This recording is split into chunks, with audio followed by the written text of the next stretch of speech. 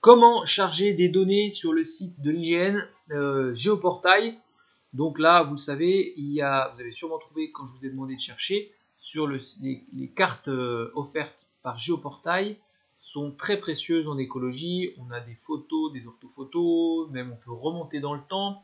On a des, euh, fonds de cartes où on voit les, les, couvertures de sol.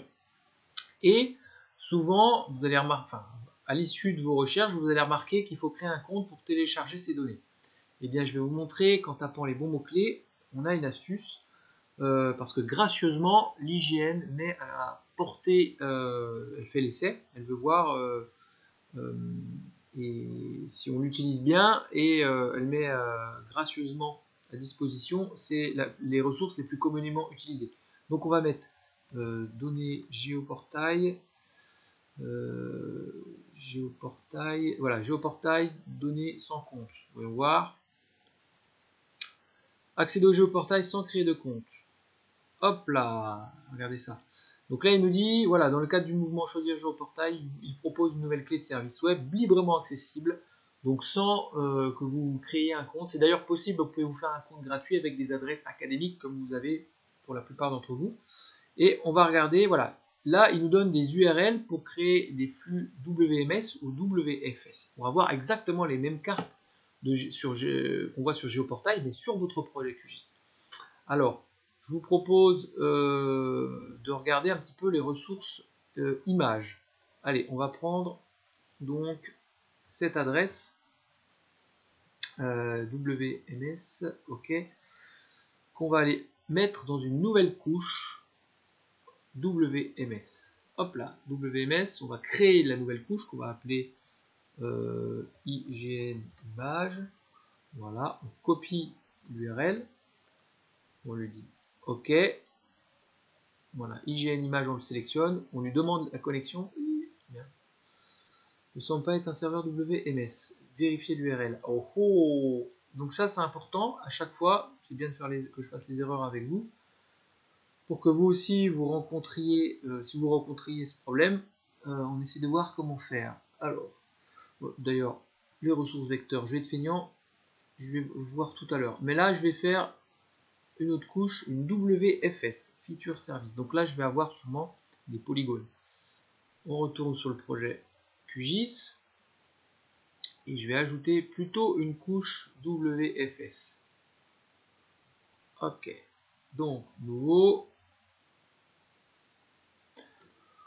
On va l'appeler IGN Vector, par exemple. On colle l'URL. Donc là, on a bien du WFS, ça devrait être bon. OK. IGN Vector, connexion. Ça marche, super.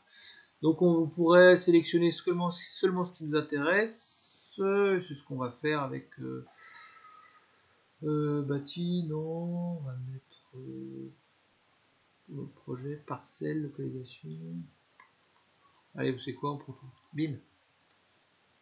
J'espère que ça peut être trop lourd. Ajouter.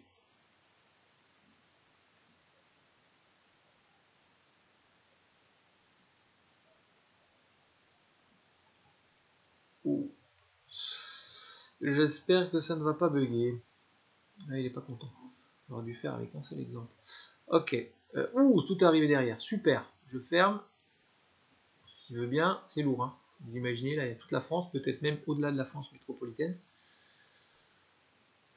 Et, allez, vas-y copain, ferme. que c'est lourd. Parce que là, euh, en vecteur, ça veut dire que chaque, par exemple, bâtiment a été détouré dans un, objet polygonal. Et peut-être même il y a des attributs. La surface, peut-être, euh, qu'est-ce que c'est, etc.